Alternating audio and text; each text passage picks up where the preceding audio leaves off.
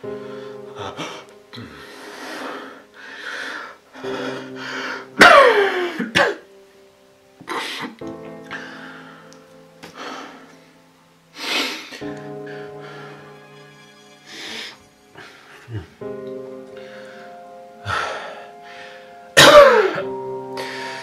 er visst litt Jeg er litt syk i dag, så i dag er jeg til å holde senga.